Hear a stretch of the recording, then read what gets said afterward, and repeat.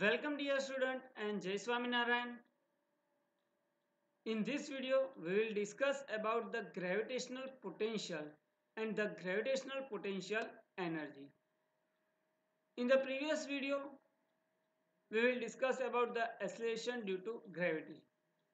So, if you want to move any object from the infinite distance where the gravitational field of the object is zero to the any point in the gravitational field we must have to work against the gravitational field right? And the work done against the gravitational field is stored in the form of the gravitational potential energy right?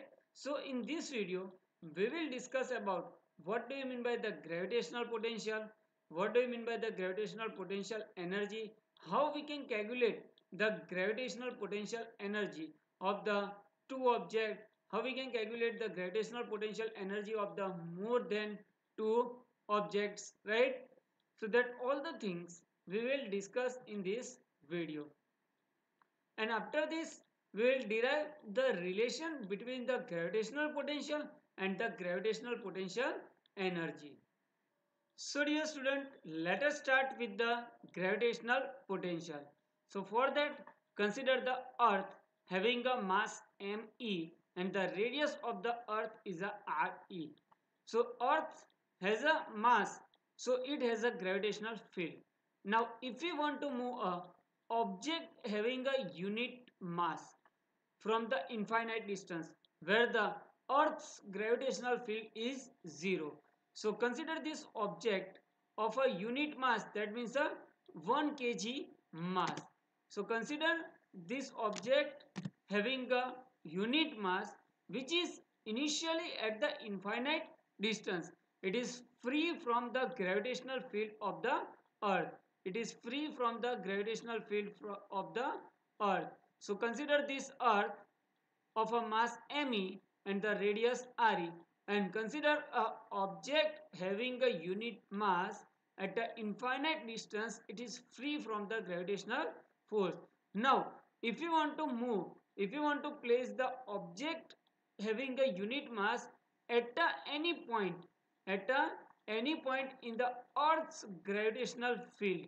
So consider this point p right? Consider this point p and if you want to move a object having a unit mass from the infinite distance to the point P, we have to work against the gravitational field. And the negative of this work required to bring a body of a unit mass from the infinite distance to the given point in the gravitational field is called the gravitational potential at that point right? So let us consider that the point P is at a distance r from the center of the earth. So gravitational potential at a point P is the work done required to bring a body of a unit mass from the infinite distance to the point P. So how we can calculate the gravitational potential at a point P? So let us consider the definition of the gravitational potential at any point in the gravitational field. The gravitational, the negative of the work required to bring a body of a unit mass from the infinite distance. What is the infinite distance? Infinite distance is the distance where the gravitational field of the earth is approximately zero negligible gravitational field so the negative of the work required to bring a body of a unit mass from the infinite distance to the given point in the gravitational field is called the gravitational potential at that point right? Understand the definition of the gravitational potential? So now how we can calculate the gravitational potential at any point in the gravitational field? So for that consider a earth right? Having a mass me and the radius re and a point P where we want to find the gravitational potential due to the earth's gravitational field at a distance r small r from the center of the earth right? So we require to find the work done required to find work done required to bring a mass of the unit mass from the infinite distance to the given point so here this distance we consider as a infinite distance and point P is the distance r from the center of the earth. So to calculate the gravitational potential at a point P, we need to calculate the work done to bring a body of a unit mass from the infinite distance to the given point P. So how we can calculate? How we can calculate the work done? Work done is equal to force into the displacement, right? So by the definition of the gravitational potential, right, gravitational potential phi is equal to work done required from the infinite distance to the point P divided by mass m, right? So from this, the unit of the gravitational potential is a joule per kg and from that we can derive the dimensional formula of the gravitational potential. So dimensional formula of the work is a m1 L2 T minus 2 and the dimensional formula of the mass is a m1. So we get a dimensional formula of the gravitational potential is a m0 L2 T minus 2. So gravitational potential at any point is a work required to bring a body of a unit mass from the infinite distance to the given point in the gravitational field. And how we can find the work done? Work done we can find by with the help of the in, integration of the f dot dr right? So the formula of the work done is a force into the displacement. So here work done from infinite to the point p is the integration of infinite to point p f dot dr where f is the gravitational force. So here the gravitational force is acting on the body of a unit mass is changes as per the distance changes. But for the small displacement dr, we consider the gravitational force constant. So we take the gravitational force F into displacement dr and for a small small displacement we calculate the work done and summation of all the work done that is the total work done required to bring a body of a unit mass from the infinite distance to the point P is in the form of the integration. So work done W infinite to P is equal to integration of infinity to P F dot dr where F is the gravitational force acting on a body of a unit mass due to the earth right. So how we can calculate the gravitational force? The gravitational force F is equal to G mass of the earth ME mass of the body unit that is the 1 divided by R square and the direction of the gravitational force is in the direction of the unit vector joining a point in the center of the earth r cap. Now, work done required to bring a infinite to point P, W infinity to P, integration of infinite to P, we put a F is equal to GME divided by R square, direction R cap dot dr into R cap, R cap dot R cap that is the 1. So we get integration of infinite to p g me divided by r square into dr. Here g and me is constant. So we take out of integration. So w infinity to p g me integration of infinity to p 1 by r square dr. So what is the integration of 1 by r square? How we can calculate the integration of 1 by r square? So integration of 1 by r square dr that is equal to integration of r raised to minus 2 dr.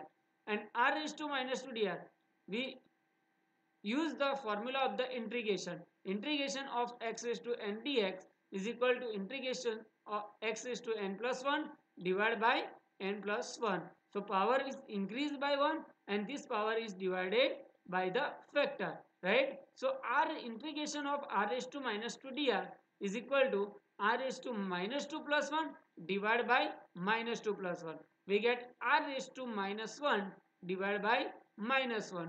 So integration of 1 by r square is equal to minus 1 by r.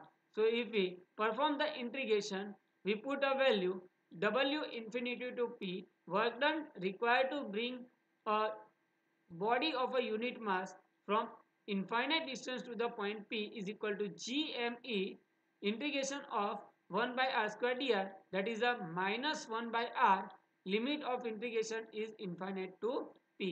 So which limit we put first?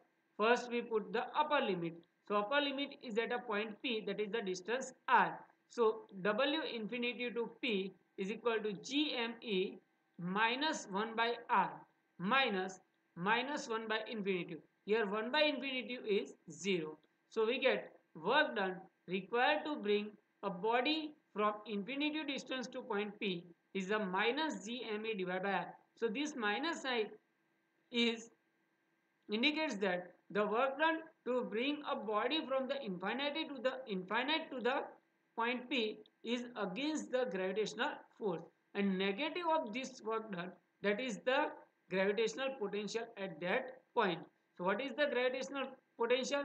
The gravitational potential is defined as the work done negative of the work done required to bring a body of a unit mass from the infinite distance to the given point. So phi gravitational potential at a point P is equal to minus W infinite to P. So we take a minus. So minus minus plus. So work done.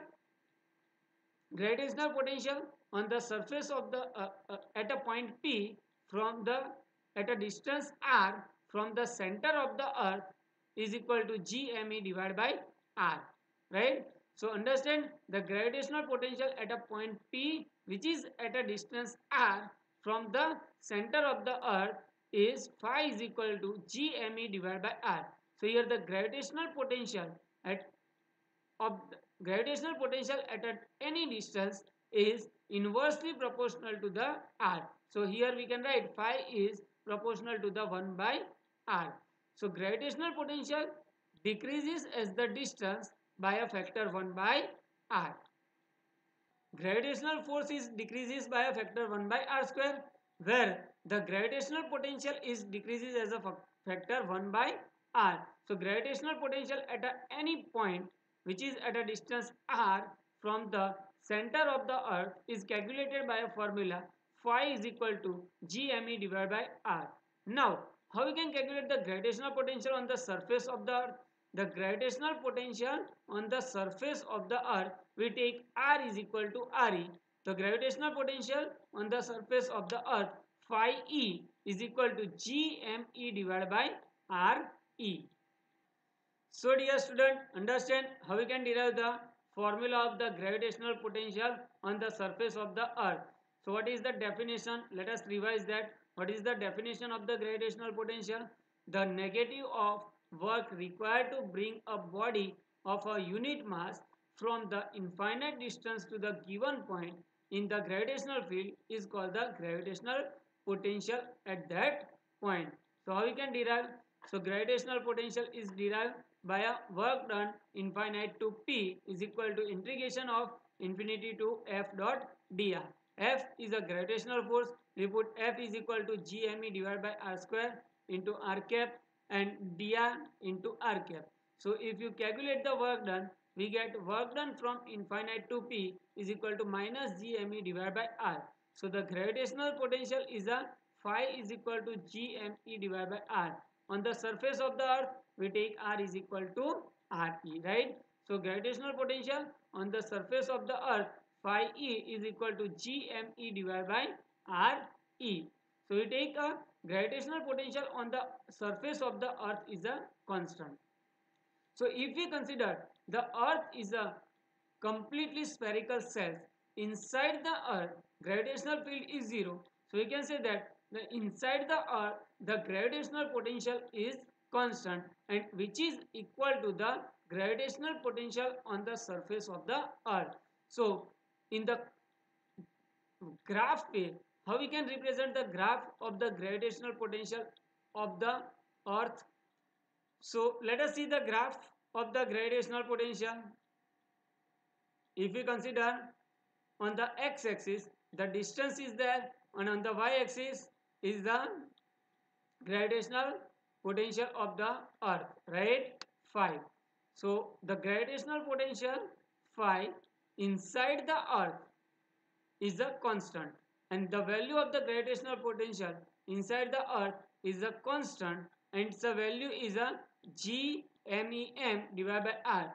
Its value is equal to the gravitational potential on the surface of the earth. So from the center of the earth to the surface of the earth which is at a radius distance RE radius of the earth right? Distance RE so from the center of the earth and uh, to the surface of the earth the value of the gravitational potential is constant and its value is phi e is equal to gme divided by re and from the surface of the earth to the outside as the distance is increases the gravitational potential is decreases by a factor 1 by r.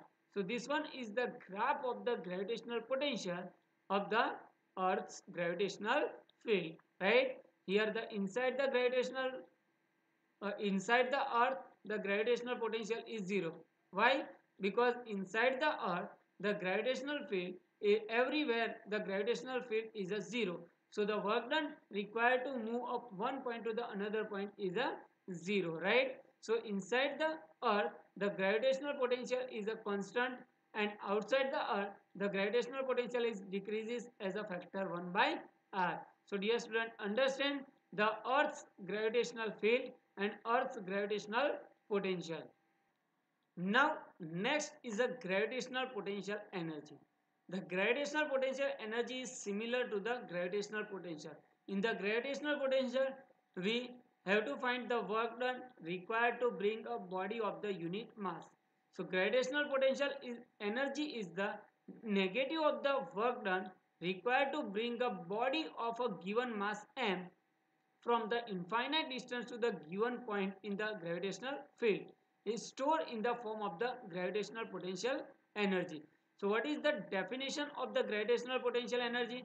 The gravitational potential energy is defined as the negative of work required to bring a body of a mass m from the infinite distance to the given point in the gravitational field is called the gravitational potential energy right the gravitational potential energy is denoted by capital V R capital U. In the some textbook, you will find the notation of the gravitational potential energy is capital V or in the some textbook, you will find the notation of the gravitational potential energy is capital U.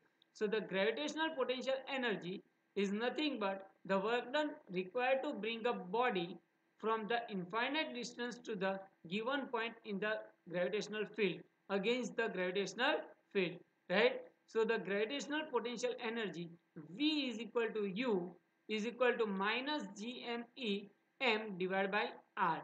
So this formula is similar to the gravitational potential, right? gravitational potential phi is equal to GME by R, right? But the gravitational potential energy is the U is equal to minus GME M divided by R. So we will we can easily obtain the relation between the gravitational potential and the gravitational potential energy right so this much part so here this much part is a gravitational potential right? So gravitational potential energy u is equal to u is equal to phi gravitational potential into m right? Mass of the body. So if you multiply a gravitational potential with the mass of the body, you can easily calculate the gravitational potential energy. Or the gravitational potential is defined in terms of the gravitational potential energy. Phi is equal to u by m. Phi is equal to u divided by m right? So gravitational potential at any point is the gravitational potential energy of the unit mass at that point right? So understand the relation between the gravitational potential and the gravitational potential energy. So gravitational potential at any point is the gravitational potential energy of a unit mass at that point. So relation between the gravitational potential energy and gravitational potential is equal to u is equal to phi into m. So here the unit of the gravitational potential energy it is the one type of the energy. So we get the unit of the gravitational potential energy is a joule. The dimensional formula of the gravitational potential energy is same as the energy m1 l2t minus 2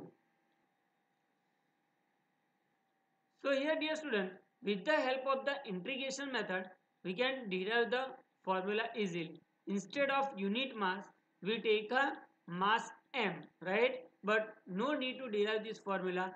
Take this formula of the gravitational potential energy u is equal to minus gmem divided by r right?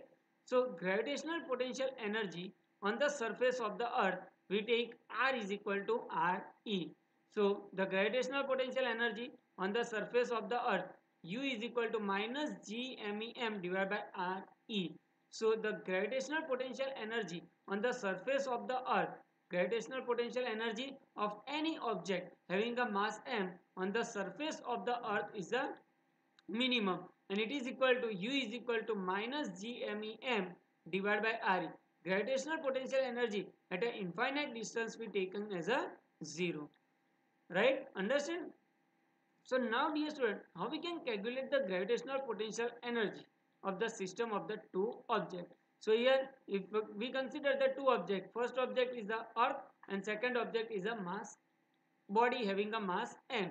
So gravitational potential energy U is equal to minus GMEM divided by RE. So dear student let us consider the two object, object 1 and object 2. Now we need to place a object 1 and object 2 at this place. So first of all, we, re we require to find a work done required to move a object 1 from the infinite distance to the point A, right? From the infinite distance to the point A. So, but first the work done required to bring a object 1 from the infinite to the point A is a 0 because there is no gravitational field, right? So, first if we put a object having a mass m1 at the point 1 and work done required to move a object having a mass m1 at a point a is a 0 now the these two objects is at a distance r from each other right so the gravitational potential energy of the two objects having a mass m1 and m2 situated at a distance r. M1 and m2 situated at a distance r is calculated by the formula u is equal to u is equal to minus g m1 m2 minus capital G m1 m2 how we can calculate? Mass of the first object mass of the second object divided by r distance between two objects right? So the gravitational potential energy of the system of the two objects is calculated by u is equal to minus g m1 m2 divided by distance between two objects is a r right? Because the gravitational potential work done required to bring a first object from the infinite distance to the point a w1 is 0 right and work done required to bring a second object from the infinite distance to the given point is calculated by gravitational potential at a point and the mass of the object m2. Now, gravitational potential at this point is a minus gm1 divided by r. So, the work done is equal to minus gm1 m2 divided by r. So, the total work done w1 is 0, w2 is equal to u is equal to minus g m1 m2 divided by r. So the gravitational potential energy of the system of the two objects is the minus g m1 m2 divided by r. Now if we consider the three object, third object, right? So third object if we want to place at a point C, we require to find the work done required to move from the infinite distance to the point point C, right? So first we need to calculate the gravitational potential at the point C and then multiply by mass m3 we can calculate the total gravitational potential energy of the system of the three object right so let us consider the system of the three object object 1 object 2 and object 3 how we can derive the gravitational potential energy? The gravitational potential energy between object 1 and object 2 is the u12 gravitational potential energy between object 1 and object 3 is the u13 and gravitational potential energy between object 2 and object 3 is the u23 and the total gravitational potential energy u is equal to u12 plus u13 plus u123 right? So first we take a u12 gravitational potential energy between the object 1 and object 2 is a minus gm1 m2 divided by r12 r12 is the distance between the object 1 and object 2 right? Similarly the gravitational potential energy between the object 1 and object 3 that is gm1 m3 divided by r13 r13 is the distance of the object 1 and object 3 and the gravitational potential energy between the object 2 and object 3 is a gm2 m3 divided by r23 r23 is the distance between the object 2 and object 3 right? So this way we can calculate the gravitational potential energy of the system of the three objects. Similarly how to calculate the gravitational potential energy of the, of the system of the four objects how we can calculate the pair right so first of all the gravitational potential energy between 1 and 2 1 and 3 1 and 4 so we get a three pairs, right? With the object 1, U12, U13 and U14. Similarly, gravitational potential energy between, between a two pairs, object 2, 3 and 2, 4, right? So we get the another two pairs. Similarly, gravitational potential energy between 3 and 4. We cannot take a 3 and 2 that is already comes, right? So we get the how many pairs? We get the six pairs. U12, U13, U14, U23, U34, 24 and U34 right? So this way we can calculate the gravitational potential energy.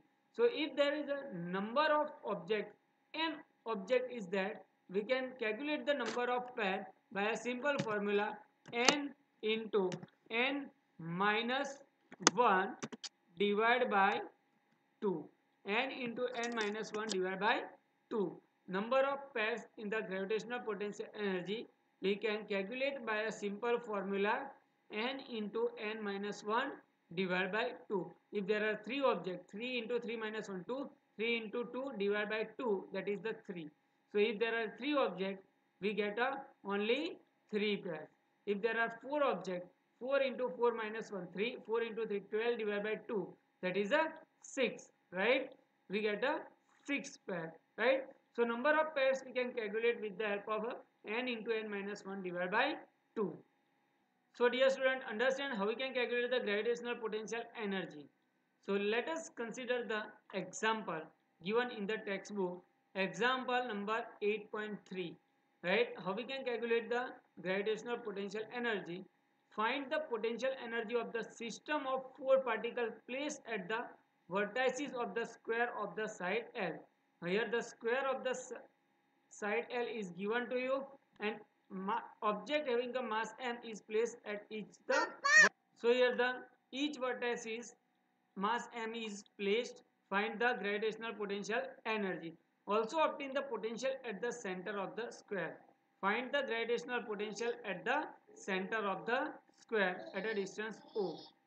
So now let us take the solution of this question. So here four vertices of the square mass m is placed at the four vertices of the square of the side L right?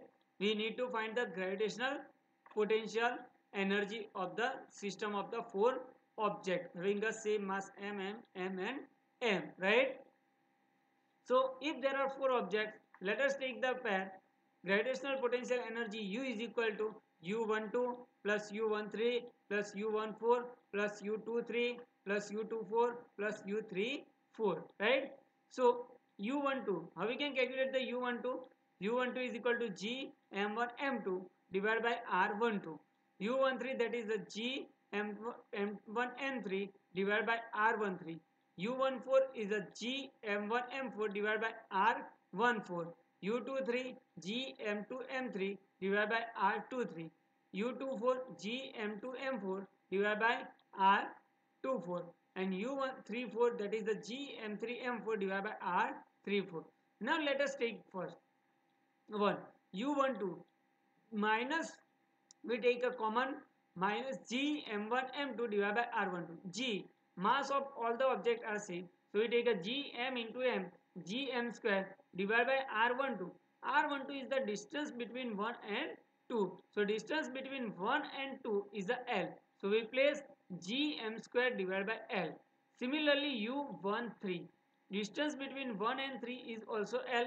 So we take a g m square divided by l plus u14 the distance between 1 and 4 is the diagonal of the square. And the diagonal of the square is calculated by under root of l square plus l square under root of 2l square under root of 2l so u14 r14 is a under root 2l so gm square divided by root 2l plus u23 is also a diagonal so we take a gm square divided by root 2l plus gm square by l plus gm square by l so here gm square by l is a 4 times and gm square by root 2l is a 2 times. So we take 4 into gm square by l plus 2 into gm square by root 2 l. So root 2 we cut out gm square by l is common. So gravitational potential energy U is equal to minus gm square by l into 4 plus root 2. Similarly, we can calculate the gravitational potential. The gravitational potential at a center O is a gm divided by r. r is the distance of the vertex to the center. We need to calculate root 2l divided by 2. The gravitational potential due to object 2 is a gm divided by r. Gravitational potential due to object 3 is a gm divided by r. Gravitational potential due to object 4 is a gm divided by r. So gravitational potential at the center is 4 times the gm divided by r r is the distance half of the diagonal that is the L by root 2. So the gravitational potential at the center is the minus gm divided by L by root 2 or root 2 gm divided by L right. So this way we can get the answer of the gravitational potential energy is the gm square divided by L minus gm square divided by L 4 plus root 2 right? And gravitational potential at the center of the square is a 4 times gm divided by l by root 2 we take a root 2 of per direction. The gravitational potential at the center is a g minus 4 root 2 gm divided by l. Understand? So understand dear student how we can calculate the gravitational potential energy and the gravitational potential. Thank you very much for watching my video